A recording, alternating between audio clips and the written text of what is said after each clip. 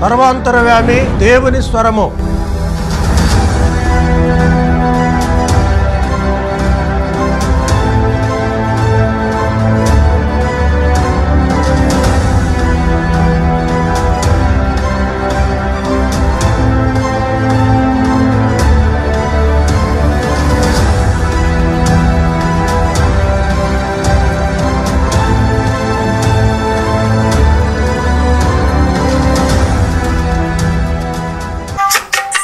Praise lord hallelujah దేవునికి మహిమ కలుగును గాక. దేవా నా దేవుడవు నీవేనని నా మదినేలే రాజువు నీవేనని.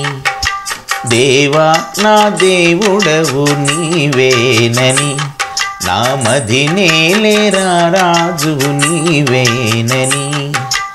ఆరాధనే చేయనా? ఆనందమే పొందనా? ఆరాధనే చేయనా? ఆనందమే పొందనా? దేవా నా దేవుడవు నీవేనని నామది మదినేలేరా రాజువు నీవేనని.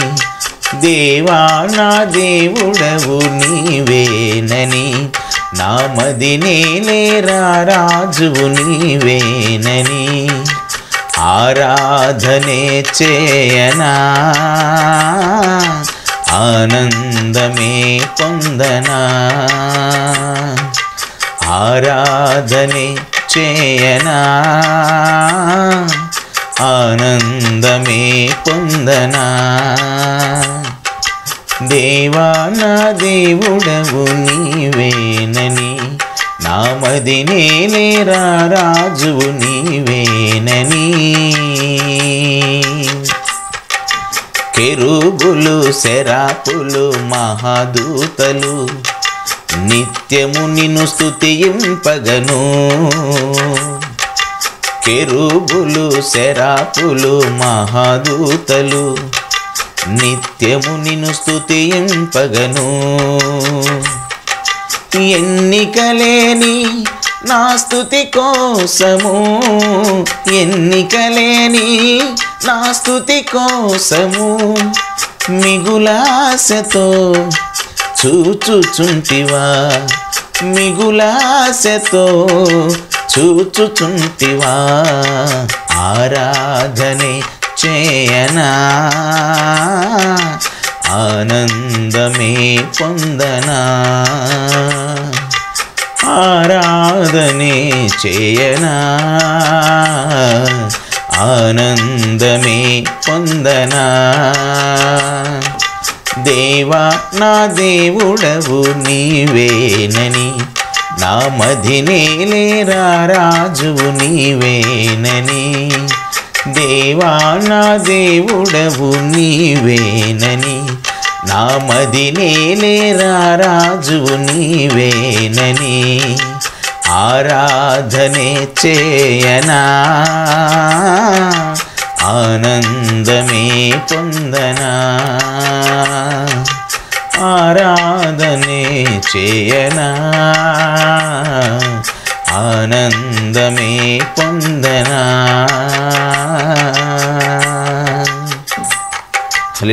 మహాగణత వహించిన మా యేసు మీ ఘనమైన పరిశుద్ధమైన శ్రేష్టమైన నామానికే వేలాది వేల వందనాలు కోట్లాది కోట్ల స్తోత్రాలు చెల్లిస్తున్నాం. మరి ఒక సాయంకాల సమయాన్ని మీరు మాకు అనుగ్రహించినందుకై వందనాలు చెల్లిస్తున్నాం. ఈ కార్యక్రమం ద్వారా ఎంతమంది నాయన వీక్షిస్తున్నారో ఆలకిస్తున్నారో నాయన శ్రద్ధగా వింటున్నారో ప్రతి ఒక్కరి చెవుల్ని హృదయాల్ని ఎత్తుపట్టి దీవించి అభిషేకించి మీ ఆత్మతో ప్రతి ఒక్కరిని అభిషేకించి పవర్ దై స్పిరిట్ రైట్ నౌ ఇప్పుడే అందరిని స్వస్థ చిత్తును చేయమని నజరేడిన ఏసునామన ప్రార్థించి వేడుకుంటున్నాం తండ్రి. ఆమెన్. ఈ కార్యక్రమాన్ని మరి ఈ దినమున మన అంశము వాక్యము వలన కలిగే కరువు అనే అంశాన్ని గురించి మనము ధ్యానిస్తూ ఉన్నాం. ఆమోస్ గ్రంథము ఎనిమిదవ అధ్యాయము మొదటి నుండి చదువుదాం. మరియు ప్రభు హోవా దర్శనం రీతిగా వేసవి కాలపు పండ్ల గంప ఒకటి నాకు కనపరిచి ఆ మోసు నీకు కనబడుచున్నదేమన్నడుగా వేసవి కాలపు పండ్ల గంప నాకు కనబడుచున్నదని నేనంటిని అప్పుడు హోవా నాతో సెలవిచ్చినదేమనగా నా జనులకు ఇస్రాయేలులకు అంతము వచ్చే ఉన్నది. నేనికను వారిని విచారణ చేయక మానను. ప్రభు అయిన సెలవిచ్చినదేమనగా మందిరములో వారు పాడు పాటలు ఆ దినమున ప్రలాపములగును. శవములు లెక్కకు ఎక్కువగును. ప్రతి స్థలమందునవి పారవేయబడును. ఊరకుండుడి దేశమందు బేదలను మృంగివేయును. దరిద్రులను మాసివేయును. కోరువార్లరా తూము చిన్నదిగాను రూపాయి ఎక్కువగా చేసి దొంగతాసు చేసి మనము ధాన్యమును అమ్మునట్లు అమావాస్య ఎప్పుడు వచ్చునో మనము గోధుమలు అమ్మకం చేయనట్లు విశ్రాంతిని ఎప్పుడు గతించిపోనని చెప్పుకొని వాళ్ళరా దరిద్రులను వెండికి కొన్నట్లును పాదరక్షలనిచ్చి బీదవారిని కొన్నట్లును చచ్చు ధాన్యమును మనం అముదం రండని విశ్రాంతినం ఎప్పుడైపోనో అని చెప్పుకొని వాళ్ళారా ఈ మాట ఆలకించుడి. యాకోబు యొక్క అతిశయాస్పదము తోడని యహోవా ప్రమాణం చేయనిదేమనగా వారి క్రియలు నేను ఎన్నడను మరువను. ఇందును గూర్చి భూమి కంపించదా? దాని నివాసులను అంగలార్చరా నైలు నది పొంగునట్లు భూమి అంతయు ఉబుకును. ఐగుప్తు దేశపు నైలు నది వలె అది ఉబుకును. మిశ్రాయిము దేశపు నది వలె అది పోవును. ప్రభైన హోవా సెలవిచ్చినదేమనగా ఆ దినమున నేను మధ్యాహ్న కాలమందు సూర్యుని అస్తమింపజేయుదును. పగటి వేళను భూమిని చీకటి కమ్మజేయుదును. మీ పండుగ దినములను దుఃఖ దినములుగాను మీ పాటలను ప్రలాపములుగాను మార్చుదును. అందరినీ మొలల మీద గోనెపట్ట కట్టుకొనజేయుదును. అందరి తలలు బోడి చేసేదను. ఒకనికి కలుగు ఏకపుత్ర శోకము వంటి ప్రలాపము నేను పుట్టింతును. దాని అంత్యదినము ఘోరమైన శ్రమ దినముగా ఉండును. రాబో దినము అందు దేశము నేను వారిని పుట్టింతును. అది అన్నపానములు లేకపోవట చేత కలుగు క్షేమముగా ఉండును. క్షేమముగా ఉండును. ఇదే యెహోవా వాక్కు. కాబట్టి జనులు ఎహోవా మాట వెదకొటకై ఈ సముద్రం నుండి ఆ సముద్రం వరకును ఉత్తర దిక్కు నుండి తూర్పు దిక్కు వరకును సంచరించుదుగానది వారికి దొరకదు.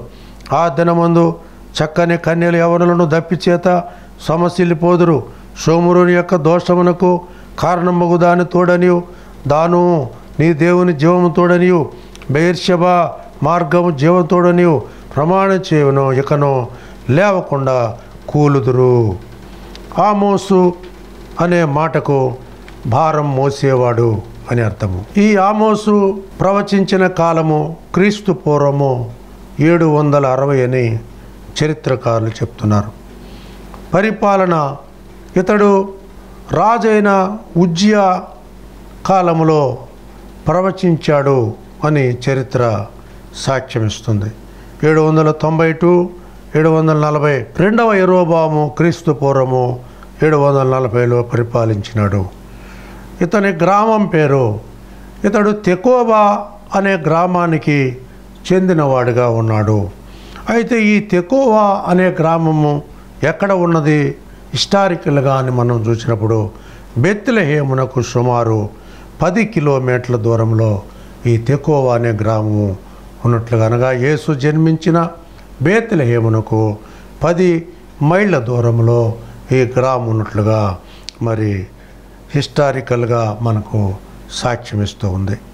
అలాగే అతని వృత్తి ఏమిటి అని మనం చూసినప్పుడు మేడి పండ్లు ఏరుకునేవాడు ఇతడు పశువుల కాపరి లేదా గొర్రెల కాపరి అని మనకు తెలియజేస్తున్నది ఆమోస్ గ్రంథము ఏడవ అధ్యాయం పద్నాలుగు వచనం చూసినప్పుడు ఆ మాట మనకు ధృవపరచబడుచున్నది. మరి ఇతడు అంటున్నాడు నేను ప్రవక్తనైనను కాను ప్రవక్తల శిష్యుడనైనను కాను. నేను తెకోవలోని గొర్రెల కాపరులలో ఒకడినై మరి గొర్రెలు కాచు కాచేవాడిని యహోవా నన్ను పిలిచి నువ్వు వెళ్ళి ప్రవచించుమని నన్ను పంపినాడు అంటూ ఉన్నాడు. కాబట్టి ఆమోసు మరి చాలా మరి భారభరితమైన ప్రవక్త అని మనకు తెలియబడుచున్నది అతడు చదువు లేదు మేడిపళ్ళు ఏరుకునేవాడు తెకోవలోని పశువుల కాపర్లో ఒకడు ఇతడు ఏ యూనివర్సిటీలో పిహెచ్డి కానీ మాస్టర్ ఆఫ్ థియాలజీ కానీ ఇతడు తీసుకోలేదు.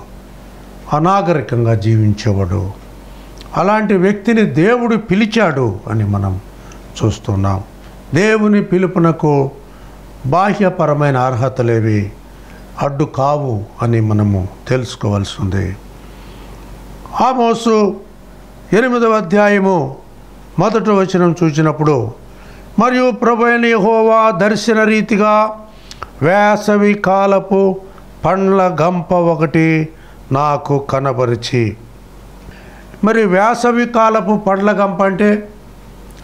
వేసవి కాలంలో మీరు పళ్ళు ఒక గంపలో ఉంచినట్లయితే ఆ పళ్ళు సురక్షితంగా ఉండవు. మన వాళ్ళు పళ్ళను ఏం చేస్తారు? ఫ్రిడ్జుల్లో పెడతారు. ఎందుకని? కొన్నాళ్ళు భద్రంగా ఉంటాయి సురక్షితంగా ఉంటాయి క్షేమంగా ఉంటాయి. శీతల గిడ్డంగుల్లో పెడతారు. మరి ఇతడు వేసవి కాలంలో పండ్లతో నింపబడిన ఒక గంప కనబడింది అంటూ ఉన్నాడు. అంటే వేసవి కాలంలో ఉన్న గంపలో ఉన్న పళ్ళు ఎలా ఉంటాయి మనం ఆలోచించాలి. కొన్ని చితికిపోతాయి కొన్ని డాగులు పడతాయి కొన్ని నలిగిపోతాయి కొన్ని కుళ్ళిపోతాయి. అంటే ఇక్కడ అవి ఫ్రెష్గా లేవు సురక్షితముగా లేవు. అంటే ఇస్రాయేలీల యొక్క ఆత్మీయ స్థితిని ఇస్రాయేలీల యొక్క నైతిక స్థితి ఇస్రాయేలీల యొక్క బాహ్య స్థితిని ఇక్కడ ఆమోసునకు దేవుడు తెలియపరుస్తూ ఉన్నాడు. ఆమోసు నీకు కనబడుచున్నదేమని నేను అడగా వేసవి కాలపు పండ్ల గంప ఒకటి నాకు కనబడుచున్నదని నేనంటిని. అప్పుడే హోవా నాతో సెలవిచ్చినదేమనగా నా జనులకు ఇస్రాయేలీలకు అంతం వచ్చే ఉన్నది. అంటే ఈ పళ్ళు సురక్షితముగా లేవు. కుళ్ళిపోయాయి కంపు కొడుతున్నాయి చితికిపోయాయి. వీటి యొక్క నైతిక స్వరూపము వీటి బాహ్య స్వరూపము వీటి అంతరంగ స్వరూపము ఇంకా వీటికి అంతము వచ్చేసింది. పతనమైపోయాయి. పాడైపోయాయి నాశనమైపోయే స్థితికి వచ్చేసాయి కుళ్ళి కుళ్ళిపోతున్నాయి కుళ్ళు కంపు కొడుతున్నాయి. అందుచేత నేనెకను వారిని విచారణ చేయక మానను. I can judge for them. ఇక వారిని ఎంక్వైరీ చేస్తాను. ఇక వారిని గురించి విచారణ చేస్తాను. ఎవడి యొక్క మరి పర్సనాలిటీ వ్యక్తిగతం ఎలా ఉన్నదో నేను ఒక్కొక్కడిని విచారణ చేస్తాను అంటూ ఉన్నాడు. ప్రభు అయిన హోవా సెలవిచ్చినదేమనగా మందిరములో వారు పాడు పాటలు ఆ దినమున ప్రలాపములగును. చాలామంది మందిరాల్లోనికి వచ్చి మరి సిస్టమేటికల్గా మరి కన్ఫామ్డ్గా ఉన్నటువంటి పాటలు రెండు వందల మూడు అంటారు మూడు వందల ఆరు అంటారు. ఆ పాటలే పాడతారు. ఇక ఆ పాటలు నాకు అవసరం లేదు. వారు పాడు పాటలు ఆ దినమున ప్రలాపములగును. ఇక అవి దుఃఖమయమైపోతాయి. వారు ఎంత కొయిరు పెట్టి కోరసులు పెట్టి మరి వారు పాడినప్పటికీ ఆ పాటలు నాకు అవసరం లేదు. శవములు లెక్కకు ఎక్కువగును. ఇక చచ్చిపోయే వారి సంఖ్య కూడా ఎక్కువైపోతుంది. మరి ఇప్పుడు అమెరికాలో చూసినట్లయితే ఇరవై ఏడు లక్షలు అవుతున్నాయి రోజుకి కరోనా కేసులు. అలాగే బ్రిటన్ అలాగే జర్మనీ అలాగే స్పెయిన్ అలాగే ఫ్రాన్స్ అలాగే రష్యా అనేక దేశాలు అతలాకుతలమైపోతున్నాయి. భారతదేశంలో రోజుకు రెండు లక్షలకు దాటిపోతున్నాయి. ఆంధ్రప్రదేశ్లో కేసుల సంఖ్య పెరుగుతూ ఉంది. తెలంగాణ రాష్ట్రంలో నిన్న చదివిన వార్తలను బట్టి ప్రతి ఆసుపత్రిలో ఉన్నటువంటి పేరుగాంచిన ఆసుపత్రుల్లో ఉన్న అనేక మంది వైద్యులు ప్రొఫెసర్లు పోలీస్ సిబ్బంది పారిశుద్ధ్య సిబ్బంది అందరికీ కరోనా విస్తరించి అందరూ మరి మరి క్వారంటైన్లోకి వెళ్ళిపోయారని చూస్తూ ఉన్నాం. అనేక మంది సినిమా యాక్టర్లు అనేక మంది మరి రాజకీయ నాయకులు మన దేశాన్ని పరిపాలించే రాజకీయ నాయకులు వీరందరూ కరోనా బారిన పడుతూ ఉన్నారు. నిన్న ఒక్క దినమున నాలుగు వందల మంది మరణించారని రిపోర్టు తెలియజేస్తూ ఉంది. అంటే దినమునకు శవములకైతే లెక్క లేదు అని దేవుని వాక్యము చెప్తుంది. ఈ యొక్క నేటి దినముల పరిస్థితి ఆమోసు గ్రంథము యొక్క ప్రవచనానికి అది సరిపోతున్నది. చూడండి ఆమోస్ ఏమంటున్నాడు ఇంకా చదువుదాం. శవములకు లెక్క ఎక్కువగను ప్రతి స్థలమందును అవి పారవేయబడను. ఫస్ట్ వేవ్లో మరి Italy France Germany America Britain England అనేక దేశాల్లో శవములు మరి దహనం చేయడానికి కానీ ఖననం చేయడానికి కానీ స్థలము లేక విమానాల్లో అట్టపెట్టెల్లో తీసుకొని వెళ్ళి గోస్ట్ ఐలాండ్ అనే ఒక ద్వీపములో విమానాల చేత గోతులు తవ్వించి శవములను అందులో విసిరివేసి వచ్చినట్లుగా మనం చూసాం అంటే ఇక్కడ శవాలకు దిక్కు లేదు. అంటే పారవేయబడుతున్నాయి. ప్రతి స్థలం ఉంది అవి విసర్జించబడి పారవేయబడుతున్నాయి. మన ఆంధ్రప్రదేశ్లో ఒక హాస్పిటల్లో కరోనాతో చనిపోతే ఆ వ్యక్తిని ఎక్కడికి తీసుకెళ్తున్నారో అని ఎవరికీ తెలియదు. మరి ఖననం చేస్తారా? దహనం చేస్తారా?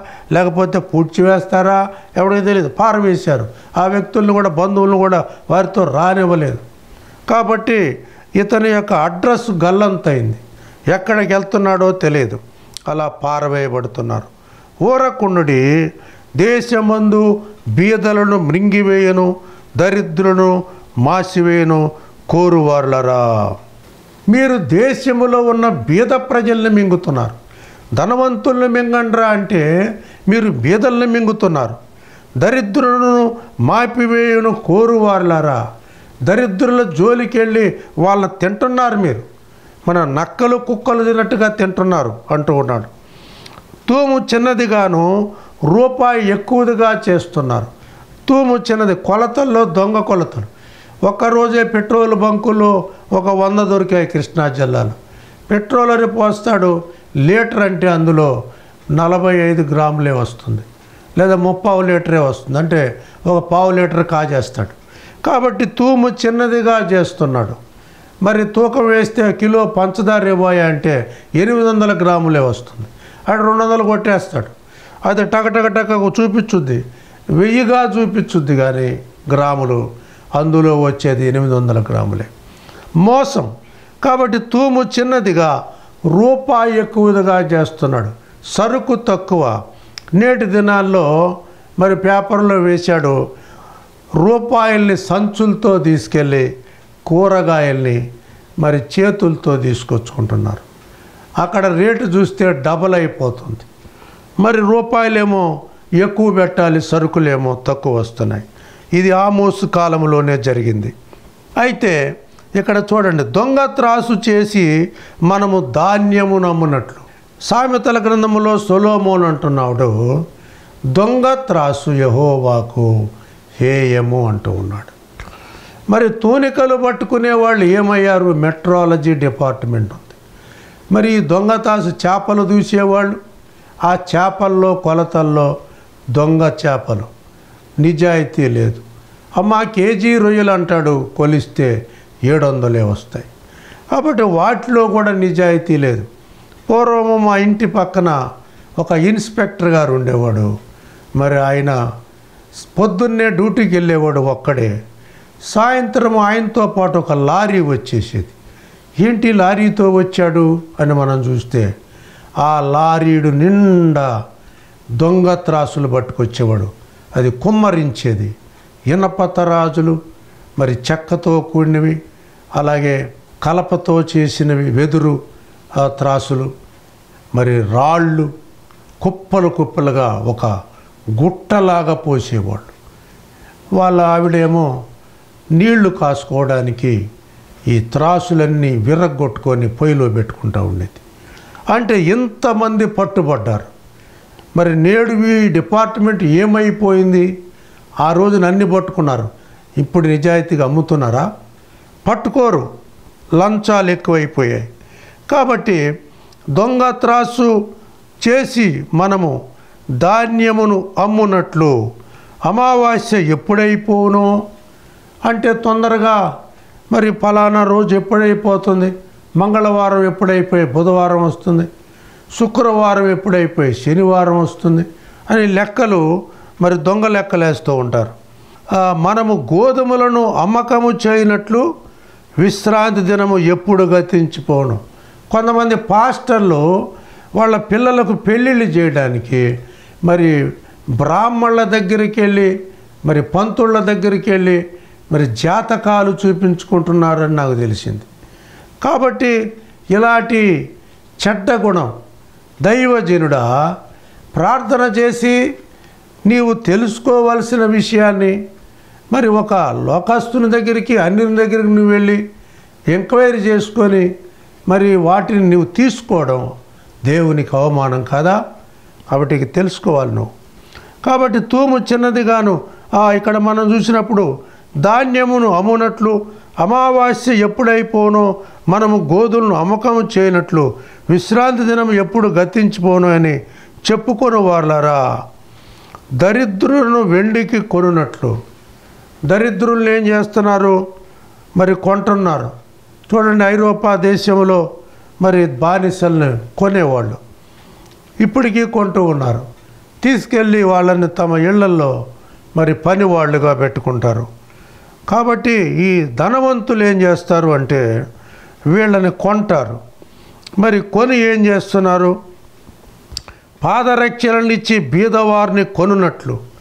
మరి ఏదో ఒకటిచ్చి ఆ వస్తు మారకం చేసి మీకు కొన్ని వడ్లు ఇస్తాం బియ్యం ఇస్తాం బట్టలు ఇస్తాం మీ అబ్బాయిని పనికి పంపించండి అని మరి ఏదో ఒకటి ఇచ్చి మరి పనిలో పెట్టుకుంటారు. అలాంటి వారు ఇప్పుడు కూడా ఉన్నారు. చచ్చుధాన్యమును మనం అమ్ముదము రండని విశ్రాంతినం ఎప్పుడైపోవును అని చెప్పుకొని వాళ్ళారా చచ్చుధాన్యం అంటే తాలు ఒడ్లు అని ఉంటాయి. మరి పూర్వం వాటిని ఉడకబెట్టి వంతెళ్ళ మీద ఆరబోసేవాళ్ళు.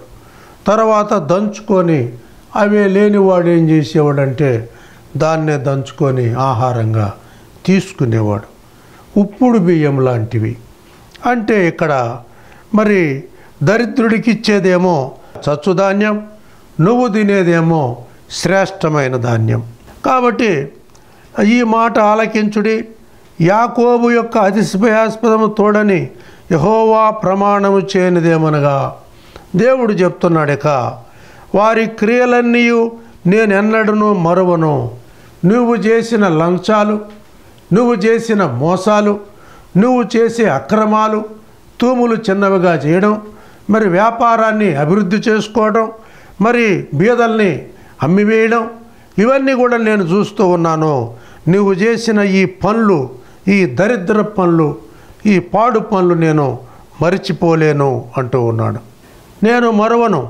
ఇందును గూర్చి భూమి కంపించదా? నువ్వు చేసిన పాపాన్ని బట్టి భూకంపం వస్తుంది. భూమి కంపిస్తుంది. ఎందుకు భూకంపాలు వస్తాయి? మరి ఎందుకు అగ్ని ప్రళయం వస్తుంది? ఎందుకు జల ప్రళయం వస్తుంది?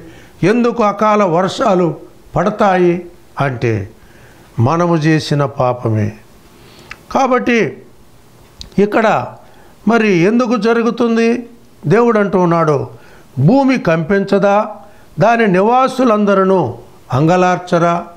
భూకంపం వస్తే ఏమవుతుంది? వేల మంది లక్షల మంది డాబాలు బిల్డింగులు అన్నీ కొట్టుకొని పోయి అందులో పడి చచ్చిపోతారు. ఇండోనేషియాలోను మరి జపాన్లో ఎక్కువగా భూకంపాలు వస్తుంటాయి. కాబట్టి భూకంపాలు వచ్చినప్పుడు మరి ప్రజలు చాలా నష్టపోతుంటారు. సునామీ లాంటివి వచ్చినప్పుడు ప్రజలు నష్టపోతూ ఉంటారు. కాబట్టి ఇక్కడ ఏమంటున్నాడు నైలు నది పొంగునట్లు భూమి అంతయు ఊబుకును. నైలు నది పొంగునట్లు భూమి అంతా ఊబుకుతుంది. ఇంకా దేవుడు రాబో దినములలో దేశములో నేను క్షేమము పుట్టింతును. అది అన్నపానములు లేకపోవడం చేత కలుగు క్షేమము కాక యహోవా మాటను వినకపోవటం వల్ల కలుగు క్షేమముగా ఉండును. నీవు రాబో దినాల్లో నేను క్షేమము పుట్టిస్తాను. ఆ క్షేమము ఎలాంటి క్షేమము? క్షేమము అనగా కరువు. ఆ కరువు ఎలాంటి కరువు? ఫ్యామిన్ అంటాడు ఇంగ్లీష్లో. కనుక ఈ కరువు ఎలాంటి కరువు? అంటే అది అన్నపానములు లేకపోవటం వలన కలిగే కరువు కాదు. అన్నపానాలంటే కూరగాయలు బియ్యం ధాన్యం ఇవన్నీ బాగానే దొరుకుతాయి. కానీ ఇవన్నీ దొరుకుతాయి. నిత్యావసర సరుకులన్నీ గ్రాసరీస్ అన్నీ బాగానే దొరుకుతాయి. కానీ ఇది ఎలాంటి కరువు అంటే యహోవా మాట వినకపోవటం వలన వచ్చే కరువు. వీడు దేవుని మాట వినడు. వాళ్ళ మాటలు వీళ్ళ మాటలు వింటూ ఉంటాడు. నీవు దేవుని సన్నిధికి వెళ్ళి విచారణ చేసి దేవుడు ఏం చెబుతాడా అని నీవు తెలుసుకోనవలసినటువంటి నీవు బాధ్యతారహితంగా వెళ్ళిపోయి మరి అక్కడక్కడ వాళ్ళని వీళ్ళని విచారణ చేస్తే వాళ్ళు వీళ్ళు చెప్పే మాటలతో నువ్వు బ్రతికితే నీ దారి తప్పిపోతుంది నీ దారి వర్దెల్లదని దేవుడు అంటూ ఉన్నాడు. చాలామందికి కుల ఫీలింగులు ఎక్కువ. కొంతమందికి క్యాస్ట్ ఫీలింగులు మత ఫీలింగులు మరి క్లాస్ ఫీలింగులు ధనవంతుడు దరిద్రుడనే ఫీలింగు ఈ ఫీలింగులన్నీ పోవాలి. శరీర తత్వం పోవాలి సంఘంలో. కాబట్టి చూడండి నీవు దేవుని మాట వినట్లేదు మనుషుల మాట వింటున్నావు.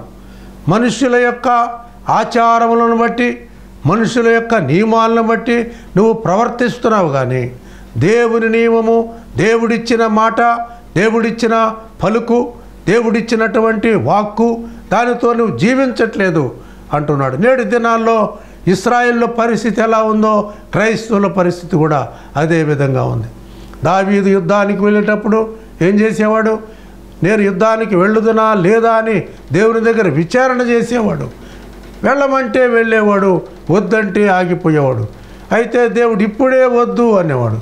మరి ఎప్పుడు వెళ్ళమంటావంటే కంబళి చెట్లు శబ్దము నీకు వినబడినప్పుడు నువ్వు బయలుదేరి వెళ్ళాలి అనేవాడు దేవుడు.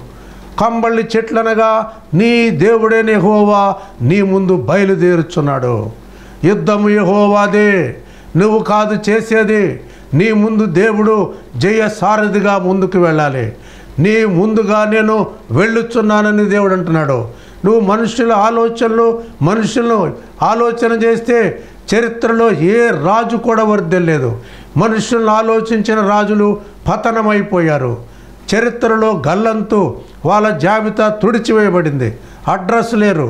కాబట్టి నువ్వు మనుషుల్ని విచారణ చేయకుండా దేవుని దగ్గరికి వెళ్ళి మరి దావీదు వలెను దానియేలు వలెను యోసేపు వలెను సమయేలు వలెను మోషే వలెను నీవు దేవుని సన్నిధిలో అబ్రహాం వలెను ఇస్సాకు వలెను విచారణ చేయమని దేవుడు నిన్ను ఆహ్వానిస్తూ ఉన్నాడు.